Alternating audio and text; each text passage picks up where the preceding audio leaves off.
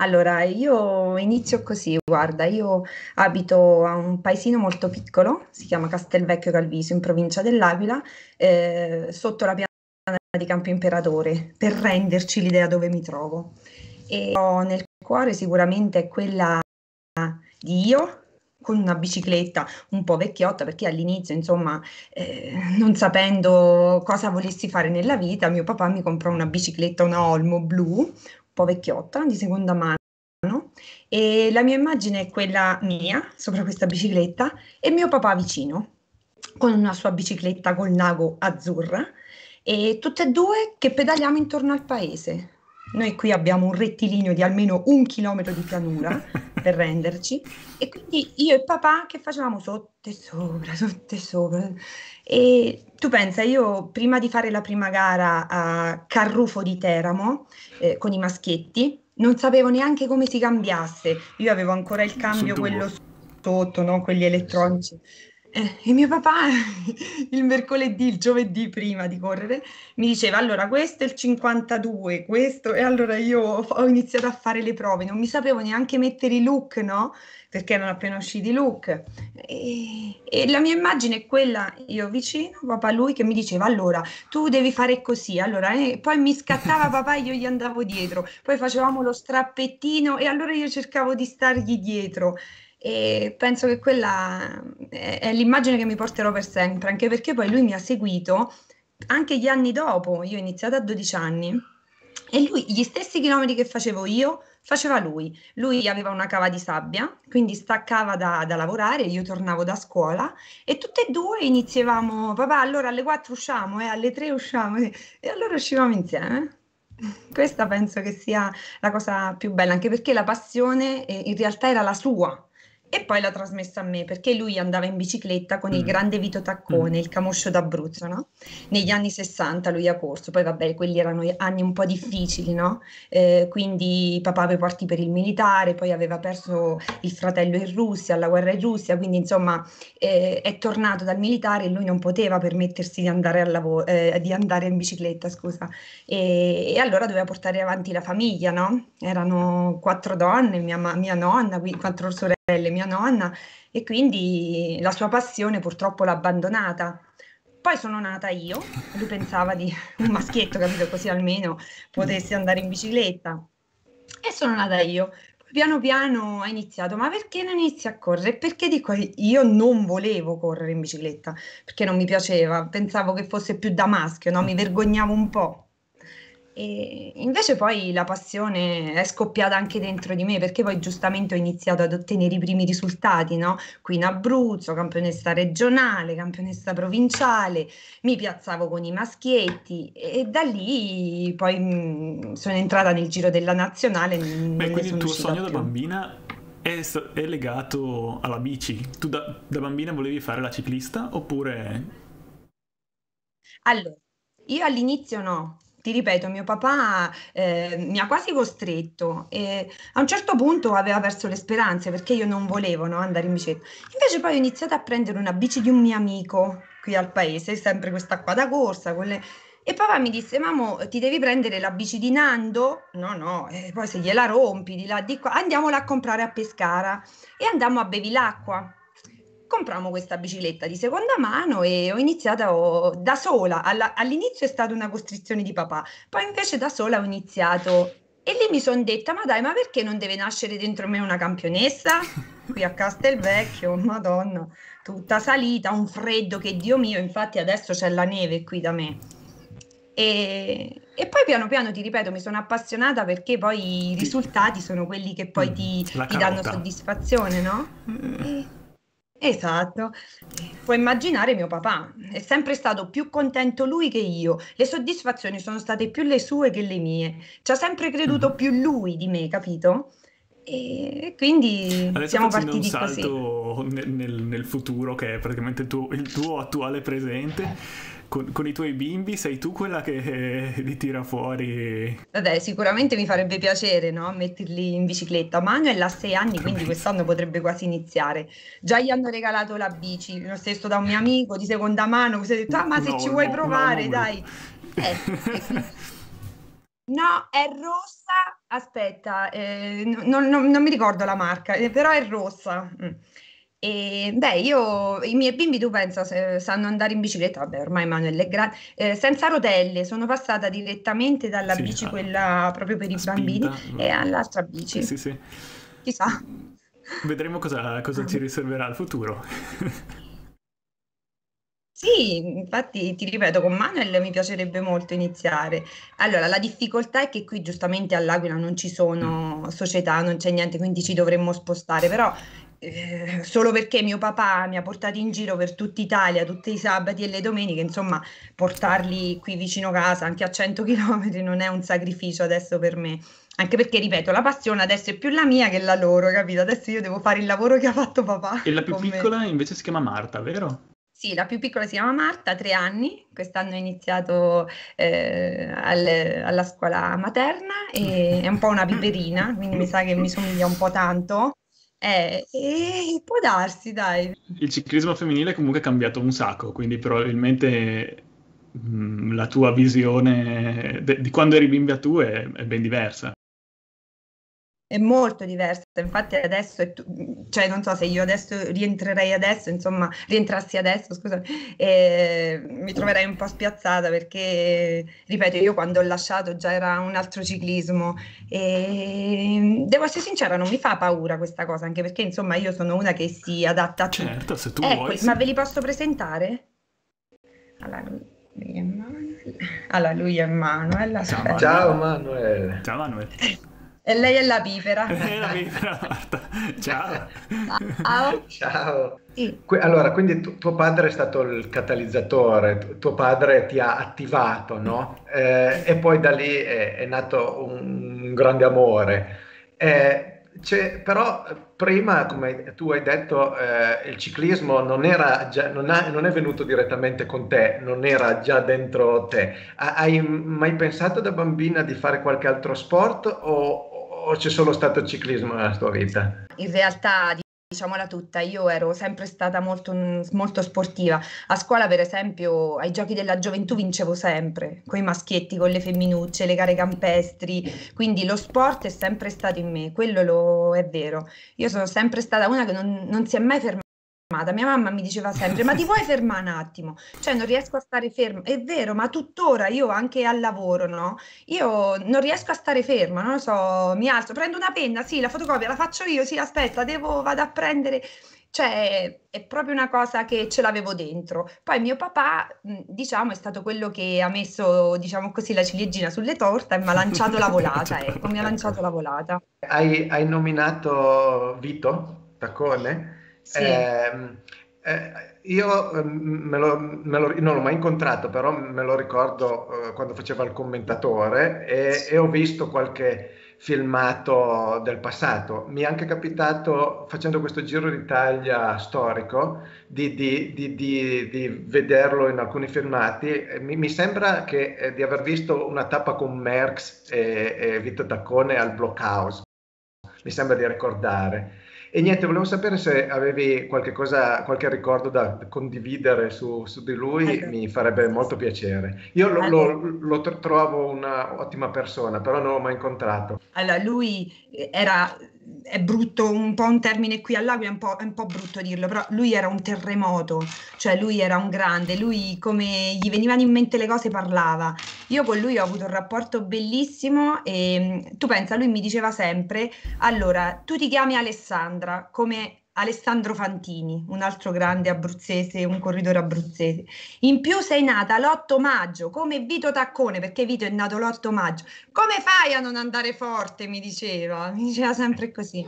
No, lui, poi con lui c'era un rapporto bellissimo perché eh, mol- spessissimo noi andavamo da lui a Avezzano a, a mangiare, a scherzare, a organizzare le cose. Lui veniva a casa mia a mangiare, a organizzare le cose. Un anno tu pensa, venne il 31 di dicembre, tipo erano le 19, le 20, quindi diciamo uno pensa al veglione, è venuto a prendersi i salami, le salsicce, perché mio papà gli ha fatto il maiale, gli ha spezzato il maiale, ma davvero, questo qui è venuto alle 20 per prendersi il salame, le salsicce, poi la cosa bella eh, troppo simpatiche. Non erano pronte, erano ancora fresche, no? Dopo 20 giorni papà gli fa, e allora come vanno le salite? Eh, ma già ce le siamo finite. Ma come ve le siete finite? Erano fresche, gli ha fatto, cioè, era troppo forte. Poi lui è stato il promotore a rimettere insomma, a posto la pista, eh, eh, la pista dell'Aquila, il Fattori dell'Aquila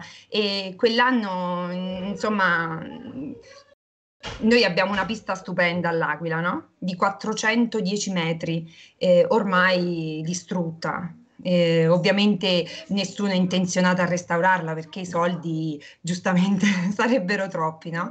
E quell'anno invece Vito si, eh, diciamo così, l'ha mezza messa a posto e ci fecero una tappa del Giro d'Italia delle piste dove venne anche eh, Marco Pantani eh, quando vinse il Giro d'Italia e il Giro di Francia. No? La prima uscita che fece Pantani fu proprio da noi all'Aquila e quegli anni insomma Vito ci ha aiutato a fare queste manifestazioni qui all'Aquila, quindi oltre che diciamo molto chiacchierone, molto anche ehm, criticato, no? perché lui, ripeto, diceva le cose in faccia, quindi eh, tante volte non è bello sentirsi dire delle cose vere, giusto? E quindi veniva criticato, però eh, lui faceva i fatti, poi era un abruzzese tosto. Poi mi ricordo quando arrivò la tappa del Giro d'Italia di Marco Pantani qui a Campo Imperatore. Lui mise, lui insieme a tutti quanti, insomma l'abbiamo aiutato tutti quanti, i fiocchi rosa per quasi tutto il percorso qui a, a Campo Imperatore. E, era l'impressione che ho avuto io eh, guardandolo da televisione, mi è sempre sembrata una persona molto, molto schietta, eh, veramente, eh, come dire, semplice ma maschietta, proprio tipico eh, ciclista uh, di, di, degli anni 50-60. Esatto. Di una esatto. Volta. E, e grazie per, per, aver condiviso questa cosa e mi ha, mi ha anche fatto pensare eh, questo incrocio che hai fatto con, con Marco Pantani, anche che anche lui è una persona molto simile da, da quel punto di vista. E, e quindi ho, solo da, da ringraziarti. Beh, io i ricordi, diciamo, di Vito ne ho tantissimi, eh, sinceramente, però questi, questi due tre, insomma, mi sono sempre...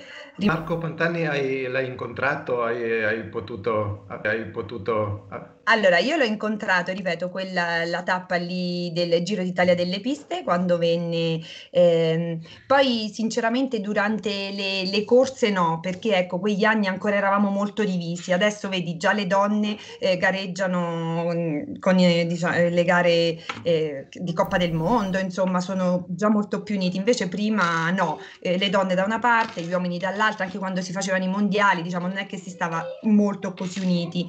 E quindi purtroppo l'ho conosciuto solo lì alla tappa del Giro d'Italia eh, lì all'Aquila, però vabbè, Marco Pantani è un po' un mito di tutti, no? È il mito di tutti, quindi sembra di conoscerlo da sempre, basta guardare le sue immagini che lo conosci, no?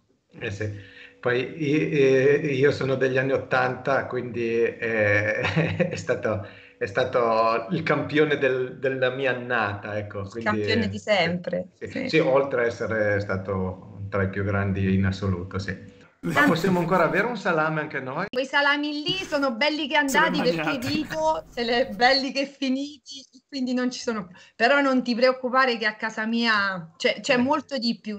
Infatti noi eravamo sempre la famiglia che portavamo tutto da casa. Noi facevamo i panini a tutti quanti. Mio papà apriva lo sportellone della macchina e tutti quanti sapevano che venivano lì alla macchina De Torre e De Torre portava il vino, portava il peperoncino, portava il sal- la salsiccia, il prosciutto. Noi facevamo qua. questo. Questa cosa che hai menzionato eh, non è la, la prima volta che, che, la sentiamo, e fa parte di questo pacchetto passione ciclismo, eh, la, condi- la, condivisione, eh, anche la condivisione alimentare. Sembrerebbe che una delle cose, uno dei ricordi che sono più piantati nelle mente dei ciclisti è proprio quella, avere le famiglie, amici, allenatori che prima o dopo la gara li rifocillavano con, con, con, eh, i, con i prodotti tipici, è vero perché noi, poi mia sorella è brava a fare i dolci, no? Quindi noi portavamo anche la crostata di marmellata fatta in casa, noi noi eravamo sempre quelli davvero che dopo la gara, come dici tu, durante la gara casomai ti, ti prendevi pure a pugni per modo di dire. Poi invece dopo tutti quanti a festeggiare, o si vinceva o si perdeva, noi eravamo sempre quelli che, che generosi, che offrivano eh, per stare insieme, come appunto dici tu, per, eh, perché era un po' un segno di unione, capito? E, e, questo... e, questo... non c'è più, non, non, non, esiste più. E no, perché adesso, ecco il discorso di prima, perché adesso il ciclismo è un po' cambiato, capito? Non c'è più il genitore che ti porta a correre, che ti allena il genitore, no, adesso ci sono le grandi squadre, giustamente, eh, e pensano a tutto loro, non è che tu dopo la gara ti mangi pane e salame, assolutamente, dopo la gara tu prendi i tuoi integratori, il tuo bidone, eh, il tuo papà casomai non c'è oppure sta dietro le transenne. Prima era un po' quello, no? Infatti tante volte quando io mi sento con le mie ex compagne con le quali ho vinto il campionato del mondo, eh, è proprio quello, ci manca proprio quello, che all'inizio casomai eravamo molto rivali perché giustamente volevamo vincere tutte, no? Invece dopo eravamo veramente come sorelle. Io volevo proprio eh, cadere in, questa, in, questo argomento che hai appena toccato, le, le tue compagne di, di avventure, perché alcune, non volevo dire molte, ma alcune le abbiamo intervistate. Quindi vorrei avere un, un, un, tuo ricordo delle tue compagne, le preferite, le non preferite. Guarda, io sono stata quella che, diciamo, ha conosciuto la Luperini, la Cappellotto, la Buonanomi, la Pregnolato, la Chiappa, la Bellutti, cioè persone di un certo livello che hanno fatto veramente il, il eh, hanno lanciato il ciclismo femminile, no? Quindi io ero la piccolina, loro le big, no? io le vedevo veramente dall'alto. E mm, il ricordo che ho di loro è bellissimo perché alcune, non di loro, e altre, diciamo, sono state un po' si può dire, un po' stronze con me, perché giustamente io ero la campionessa del mondo, la piccolina, quella che prometteva e diciamo, eh, non so, a alcune forse gli ero, gli ero antipatica, ma non importa, insomma. Eh, a queste che ho citato le rispetto da morire perché, ripeto, con loro eh, facevo i raduni, eh, gli stavo simpatica, forse perché, ecco, con questo accento un po' abruzzese, poi mi chiamavano la terrona, nel senso sì, sì, un po' simpatico, no? E quindi ho un ricordo, un ricordo bellissimo di loro, mi hanno insegnato tantissimo, ho faticato tantissimo da morire proprio perché andavano veramente molto forte rispetto a me e invece poi eh, sono passata con, con le altre, no? la Bronzini, la Bastianelli, la Longoborghini, la Guderzo, eh, la Baccaille, insomma tante altre e, e, con loro il rapporto è stato diciamo un po' più, più tranquillo, più bello perché eh, giustamente la stessa età, poi eh, ho corso con quasi tutte di loro e pure con loro ho un rapporto bellissimo, tuttora mi ci sento, eh, gli manco perché io, io, sono e penso di rimanere l'abbiamo sempre saputo, la simpatica del saputo. gruppo. la perché... Barbara, la Guarischi ci ha detto no, in, gru- in, gru- in gruppetto eh, con lei con ci si, si rideva tantissimo. Sì, beh, ma le, risate bellissime perché poi giustamente quando si faceva gruppetto, no? Quando il famoso gruppetto e lì volavano le barzellette, le storie, le... di tutto di più. Ed io ripeto, sempre quella che era amica di tutte. Io credo di essere rimasta amica di tutte, quindi eh, mi ricordano per questo, perché ero Beh, simpatica. Sì, sarai stata anche brava a fare il tuo, il tuo mestiere, immagino. Eh. Beh sì, diciamo che allora sì, io sono partita eh, con il titolo mondiale, poi c'è stato anche il titolo europeo, quindi diciamo eh, ero un po' una leader, no? Quegli anni da junior, da elite. Poi piano piano durante la mia carriera mi sono trasformata in un ottimo gregario. Esatto. Eh, guarda, insomma, con Giorgia Bronzini con Giorgia Bronzini, quindi la mia carriera diciamo è sempre è partita dal leader e poi piano piano mi sono trasformata in un ottimo gregario. Io credo di essere stata molto professionale, anche se forse potevo dare un po' di più, alcuni anni diciamo... Eh, non so, eh, non ho reso quello che, che forse potevo, no? Eh, però credo di, mi ritengo un norm- un buon corridore, un corridore insomma che ha fatto bene il suo lavoro, che è stata eh, grande appassionata, perché tu pensa ai sacrifici che facevo io, insomma, eh, me lo dicono tutti, ma come hai fatto? Perché tu pensa, io partivo all'inizio con papà, poi non potevo far venire l'estero, quindi raggiungere la società, partire con, il con l'aereo e andare. E allora io partivo da casa mia, prendevo l'autobus all'Aquila, all'Aquila andavo fino a Pescara, a Pescara per, prendevo il treno e, e, lì mi portava in stazione. Poi o mi venivano a prendere le amiche, le famose amiche, moltissime, o mi venivano a prendere loro o alcuni genitori, perché molti genitori, insomma, di, eh, tipo la Bronzini, la Borgato, oppure tanti altri, no? venivano, mi venivano a raccimolare da qualche parte e poi mi portavano in società. E tu pensa, e io portavo lo zainetto, la borsa e la bicicletta, quindi vi potete immaginare le scene. Vi potete immaginare le scene. E nessuno mai che mi ha dato una mano. Tu vedi una ragazza, una ragazzina, perché alla fine avevo 20, 22, 25 anni, con le cose, scendevo le scale, salivo le scale, attraversavo.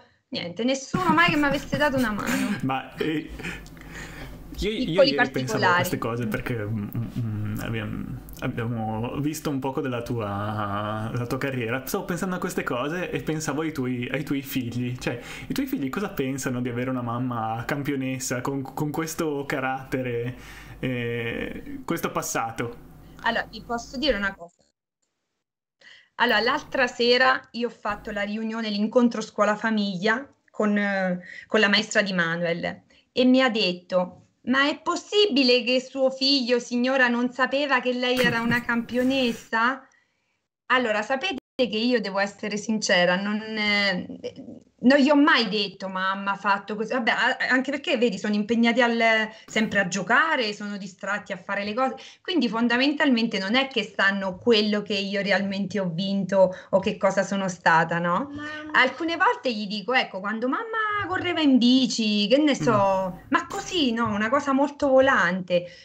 Poi l'altro ieri gli ho detto, io qui ho mm. un peluche delle Olimpiadi, no? Perché sono stata a Pechino. E allora Manuel l'ha preso, stava giocando, gli faccio Manuel stai attenta a quello perché quello quando sono andata alle Olimpiadi l'ho comprato quando... sì. sì, sì, sì, lo so, lo Manca so. un po' di prospettiva ancora, bisogna dargli un po' di tempo che crescano. Sì, ecco, adesso ancora sì, devono sì. mettere forse esatto. un po' a esatto. fuoco, capito? Però...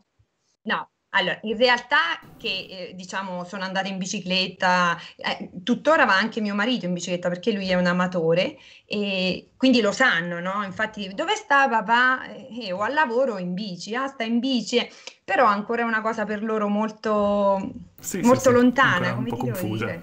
E hai menzionato la pista, e infatti guardando vabbè, la, la, tua carriera hai fatto molt- anche molta pista e mi stavo giusto chiedendo dove, perché appunto i ciclisti, esatto, i ciclisti che abbiamo intervistato, quasi tutti si lamentano del fatto che mancano piste. E, e, e quando appunto ho visto la, la, tua, la tua, biografia mi chiedevo dove, dove, l'avessi fatta tu.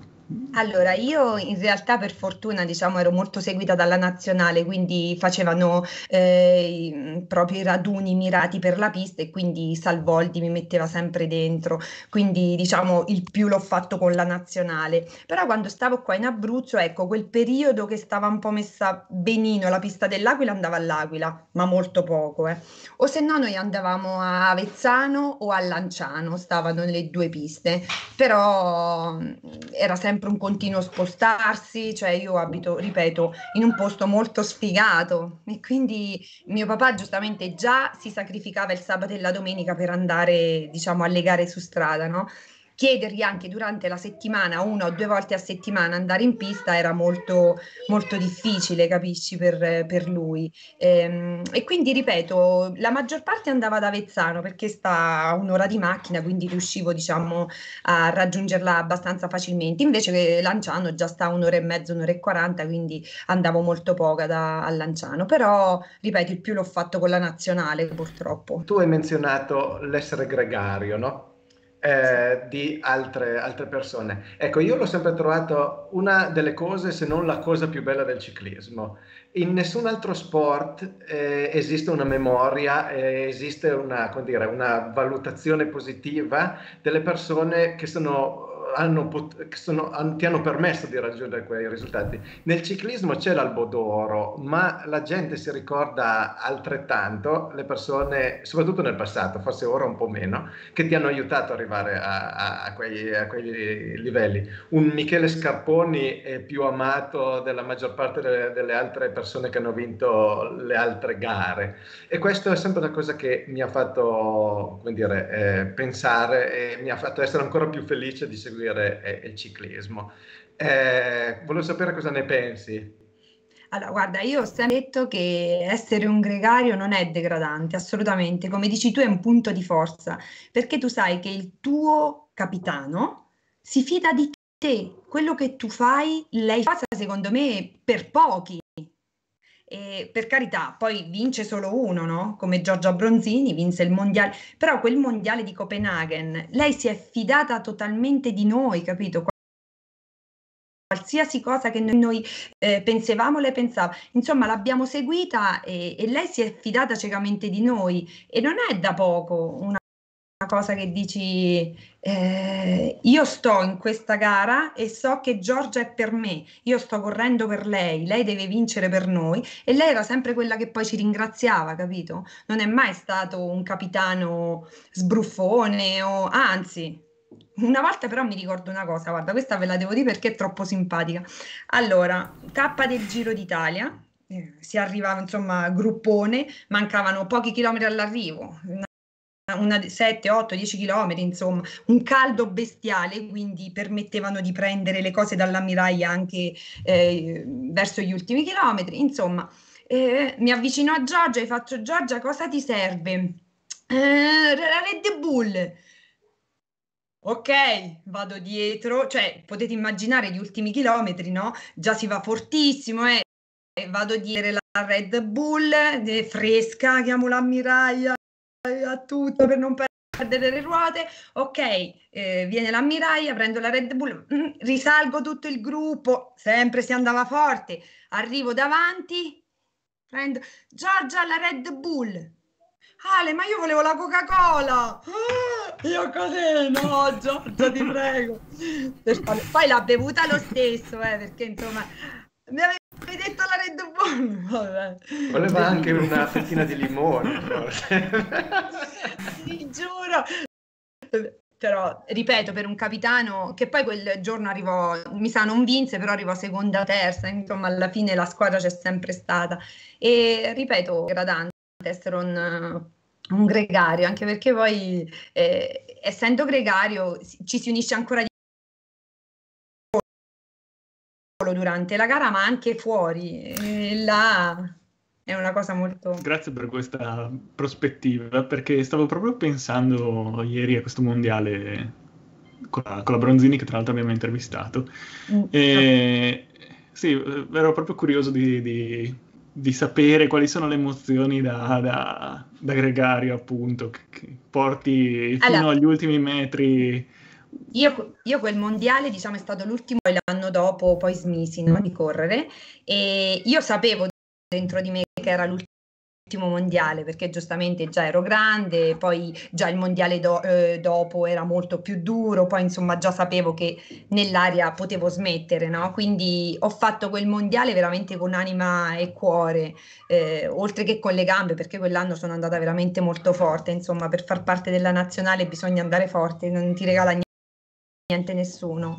E, ehm, e io ero oltre che ad avere l'incarico, diciamo, di essere un po' la chioccia, no? perché ero anche la più grande, quindi Dino Salvoldi eh, mi, mi, mi, mise come capitano, diciamo così, anche perché quell'anno non si poteva correre con le radioline, quindi io andavo dietro all'ammiraglia, parlavo con Dino, riferivo le cose, andavo davanti, riferivo a Giorgia e alle altre quello che c'era, eh, che mi avevano detto, insomma. E, è stato un mondiale bellissimo, ha vinto Giorgia, perché ha vinto Giorgia, se l'è meritato, ma ha vinto tutta la nazionale, perché veramente siamo state eh, veramente delle pedine. È come se Dino dal, dall'ammiraia ci muovesse lui, capito? Io facevo quello, eh, Monia faceva quell'altro, eh, Tatiana faceva altro, la Longo faceva altro, quindi eh, siamo stati proprio tutto a tavolino e tutto è riuscito, grazie giustamente a Giorgia e grazie alla fiducia che lei ha dato in noi, capito? Sandra, devi sapere, questa è una notizia in anteprima mondiale, noi nel 2030 disegneremo il Giro d'Italia. Ancora non lo sa nessuno, eh? neanche quelli del Giro d'Italia, ma se non ci credi tu in primis, eh, non, non, arrivi da nessuna parte. Giusto, crederci. Però abbiamo un piccolo problema, che né io né Matteo viviamo in Italia. Quindi abbiamo bisogno di una mano da, da persone nel, te- nel territorio e persone con una certa formazione, per quello che stiamo intervistando tutti. In realtà è un uh, side project, diciamo. Stiamo... Okay. Eh, tastando tutto... il terreno, tastando sì, il terreno. Esattamente. Quindi Matteo adesso ti spara la sua domanda stringendo. Vai. Venchi è così, eh, ha paura di, che rubiamo il posto. E comunque la domanda è, eh, sapresti indicarci nella tua regione o al di fuori se vuoi, uh, un posto in cui avrebbe molto senso far passare una gara ciclistica, ma è un posto che non è mai stato usato, ma uh, in cui avrebbe senso. Allora, vabbè, diciamo che i posti belli in Abruzzo ce ne sono tantissimi, no? Tu sai il Blockhouse, tu sai il Campo Imperatore, però ecco, quei posti già sono stati visitati, no? Eh, carta e penna, Matteo. Eh, carta e penna, vabbè, tanto basta che metti... Beh, sicuramente sono dei posti caratteristici oppure i nostri, eh, le nostre coste, per carità, noi si passa dalla, eh, dalla pianura alla montagna alla collina in, in, un attimo, diciamo così, quindi percorsi da fare ce ne sarebbero tantissimi. Eh, Guarda, così a cosa ti potrei dire? Un bel blockhouse, riscendi, risali, arrivo a Campo Imperatore, si potrebbe fare, bellissimo. Oppure si potrebbe passare da Rigopiano, anche la zona lì è molto bella, molto diciamo eh, brutta per altre cose, ma dei percorsi bellissimi. Eh, ti potrebbe bastare o sì, se, se, dalla... se, te ne viene in mente una, mandaci un messaggino. Guarda, se vuoi ti mando l'altimetria, tutto, ti posso mandare tutto. Si parte dal mare e si arriva a Campo Imperatore. In una tappa facciamo tu, mezzo Abruzzo. Eh, Roccaraso è in Abruzzo, vero? Sì, anche, bravissimo. Anche l'interno a Roccaraso, bravo, la piana dei 5 miglia. Però poi lì viene... È un bel tappone, eh? Bisognerebbe... E, e il, il, Giro Italia, il Giro Italia aveva una media di 200 250 km e 5000 metri di dislivello, erano tutte tappacce. non, non abbiamo fatto proprio le tappe di trasferimento. trasferimento. Eh, eh, vabbè, però dai, potrebbe essere una bella... Sì, si potrebbe passare anche lì da Roccaraso. Poi velocisti, secondo me, ce ne diranno dietro tantissime. Però... Si potrebbe organizzare un mondiale in Abruzzo del, del, di ciclismo? Allora, guarda, quest'anno eh, Alba Adriatica stava in lista, sai, per organizzare il mondiale. Avevano già, sì, e questa cosa del mondiale comunque non, non è finita, non è chiusa, eh, diciamo così. Io conosco delle persone che interessate appunto che hanno, eh, hanno chiesto questa cosa e non è chiuso come discorso, quindi un eventuale mondiale in Abruzzo. Lo... Eh. Io mi ricordo a, a, memoria, mi ricordo solo mondiali o al sud tipo Sicilia o al Sicilia. nord da Firenze, insomma il centro non Parigi. mi ricordo se ha avuto dei mondiali di ciclismo a, ciclismo, a memoria in però Toscana, in Toscana, in Toscana fatto nel 2014 esatto e poi gli altri sì in, in, realtà proprio al centro tipo Lazio ma eh, no. appunto sarebbe stato lo bello proponiamo noi lo proponiamo noi quando, quando, tu hai lasciato era già abbastanza prima del World Tour, adesso il, ciclismo femminile è passato World Tour. Mi, mi, piacerebbe, e so che sei ancora appassionata di ciclismo, che lo segui, quindi sì. vorrei capire ehm, co- cosa ne pensi di, di, questa evoluzione, se la reputi positiva, se pensi che il ciclismo femminile sia arrivato, se pensi che, che c'è ancora strada davanti. No, secondo me c'ha anche tanti margini, sai perché? Perché ci sono delle ragazzine che vanno molto forte e questo è tutto a vantaggio giustamente del ciclismo sì. femminile, no? Italiano soprattutto, ma andavano forte solo le straniere, sempre ste straniere, vincevano tutto loro, la Voss, eh, le, le tedesche andavano fortissimo loro. Invece adesso eh, veramente molto molto molto molto brave queste nuove ragazzine, ma tutte quante, capito? Io ho visto anche al campionato eh sì. del mondo, si sono comportate benissimo. Eh, adesso c'è questo famoso cambio, secondo me, generazionale, sì. Eh, per carità, ci sono pezzi di storia che possa essere, eh, vabbè, la Longoborghini quest'anno è andata fortissimo, quindi lei diciamo è un po', è un po' il faro di tutto in questo momento. Però una Guderso, insomma, una Bastianelli, eh, sono dei pezzi ah, sì. di storia italiana, quindi loro fanno, fanno parte, diciamo, del ciclismo femminile ma queste ragazzine le seguono molto bene, capito? Quindi io mh, mm, mi auguro e, e, sono convinta che andrà sempre meglio, anche perché eh, ci sono anche ragazzine junior che vanno tuttora forte no? in, cambio, in campo internazionale, quindi saranno destinate sicuramente da elite. Eh, a seguire questi fari che abbiamo già tre fissi. generazioni Guderzo, eh, Longborghini poi adesso ci sono le ventenni sì. forse riusciremo a intervistare la, la Balsamo lo anticipo eh, che, che, ha, che ha 20 Elisa va fortissimo e, come e sì, ma, ma tutte quante, sì. anche in pista ho visto eh, tantissimo le ragazzine che veramente battono eh, gra- grandi persone, insomma, tedesche, lituane, io, io ucraine, insomma. In questo bambine... senso. E secondo te perché? Sì. C'è, c'è questa, finalmente c'è un movimento italiano. Allora, perché sicuramente sono seguite molto bene. C'è un tecnico che si chiama Edoardo Salvoldi che sa fare benissimo il suo lavoro e che riesce a gestire. Eh, lui, è, allora, lui mi ha seguito per tantissimi anni, Dino, no? Quindi io so come lavoro, eh, come lavora, lui è molto, molto attivo e non so perché Dino riesce a sapere eh, già tutto. Cioè, lui quando ti dice una cosa, devi fare una... Lui sa come andrà a finire. Eh, è preparato perché è preparato e poi perché è appassionato e gli piace quello che fa, capisci? Quindi si è creato un gruppo intorno eh, che mette tranquillità a queste ragazze. Dino, ripeto, eh, non so perché, ma anche quando, quando mi seguiva, quando seguiva tutto il, tutto il ciclismo femminile, eh, sapeva già, già, tutto, quindi tu ti fidavi di Dino, capito? E queste ragazze eh, hanno trovato il, il giusto punto di forza. Poi giustamente sono sicuramente forte già di loro, ed è un'unione perfetta, capito? Le doti le hanno, eh, chi le segue le hanno, poi hanno anche le squadre, ovviamente le società che gli permettono di fare la loro attività sia su strada che su pista, perché molte ragazze fanno entrambe e riescono a fare entrambe sì. benissimo.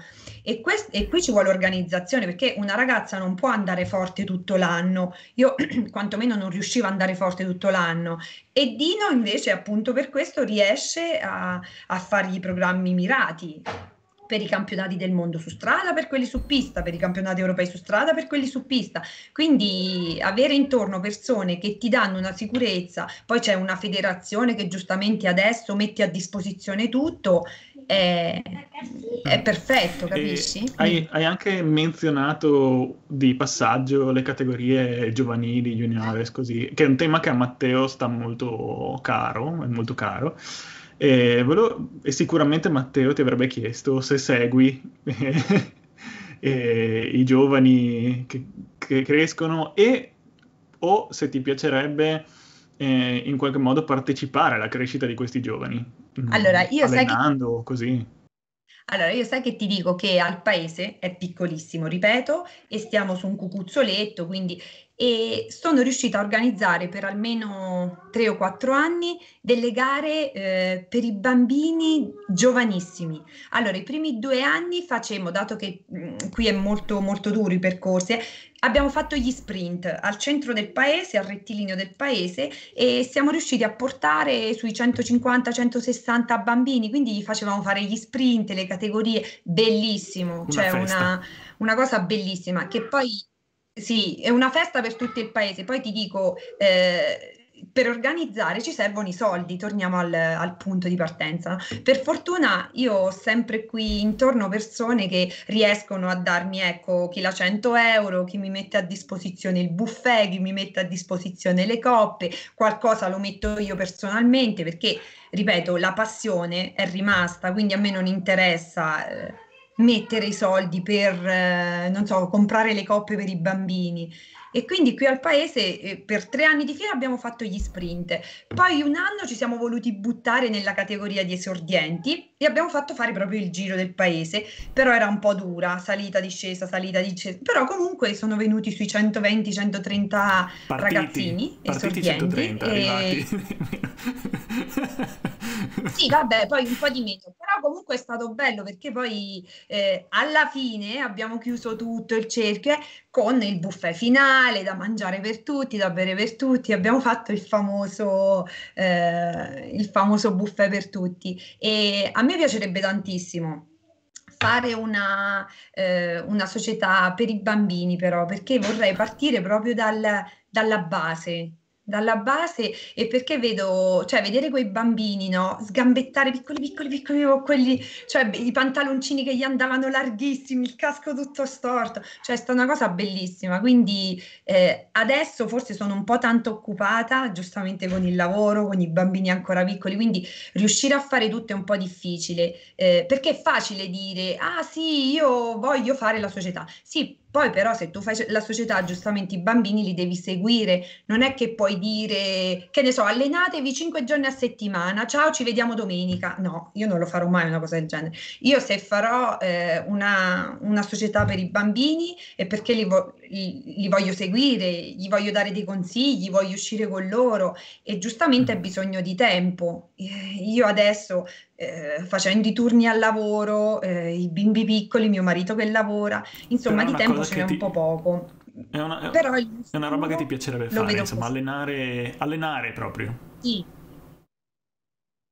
Sì, partire da una, sì, allenare i bambini piccoli e perché, perché no, portarli in giro, anche se qui diciamo il nostro è un po' terri- un territorio particolare, fa sempre freddo, eh, insomma abbiamo un po' di salite, però io penso che se, se non provi non, non, puoi mai capire no? se realmente anche qui c'è un, c'è un, piccolo campioncino, perché no? Tra tutti questi paesini no? buttati in mezzo al Gran Sasso può nascere Sicura, un Pantani? Perché no? Gli scarponi? Perché no? Ho pensato anch'io questa cosa, perché ehm, io ho fatto a, a, livelli infimi, ho fatto atlet- atletica e eh, mi ricordo che almeno per i bambini c'era il gioco atletica oppure alle, alle, elementari o alle medie c'era la corsa campestre una volta all'anno che era più una festa che una competizione. E, esatto. e me, mi sono sempre chiesto perché non si riesca a fare col, col ciclismo, perché non, una bici ce l'hanno, ce l'hanno, tutti più o meno. E,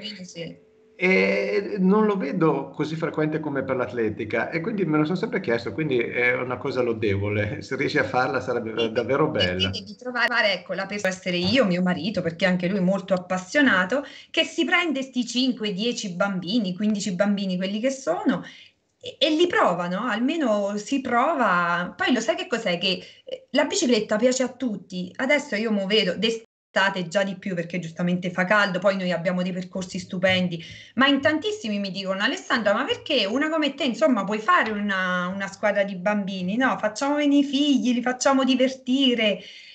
Ripeto, sarebbe una cosa bellissima, però devi avere tempo e, e per il momento io ho bisogno di, di tempo. No, ascolta, noi abbiamo, abbiamo, cercato di fare un qualche cosa uh, di, di, di, diverso nelle, nelle, interviste e un qualche cosa che vogliamo ripetere eh, a chi verrà dopo di te e che abbiamo fatto a chi è venuto prima di te.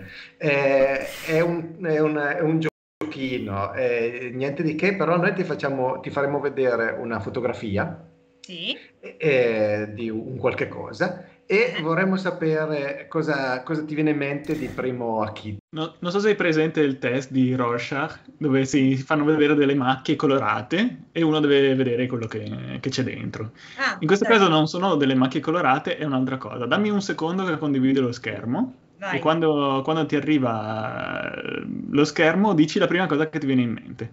Ok. Oh, la pace. Bellissimo, ottimo. La pace, poi mi viene da pensare eh, alla tranquillità con, la, con, eh, con, i miei figli e mio marito eh, su una barca e attraversare fino ad arrivare in fondo lì dove si vede l'ultima montagna con, eh, con una bella bibita fresca, pane e salame, e... preciso. Poi casomai eh, non so nuotare tanto bene, però con il salvagente ci buttiamo tutte e quattro. sembra freschina però quell'acqua lì probabilmente. Brava, sembra freschina, infatti mo lo stavo dicendo, le temperature, ne... meglio di no, il salvagente meglio di no. no. Diciamo, soprattutto non dopo il pane e salame. No, no, assolutamente.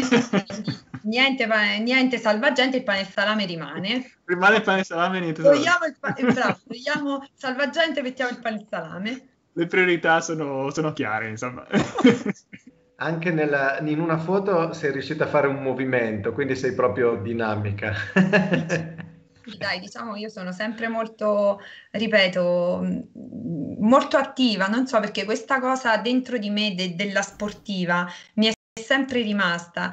Io, eppure adesso sono sette, sei anni e mezzo no, che ho smesso di correre, sento sempre sportiva. Io sono quella che ancora non mangia le patatine fritte, non va al McDonald's a mangiare quelle schifezze. Vabbè, sì, quelle schifezze. Ecco.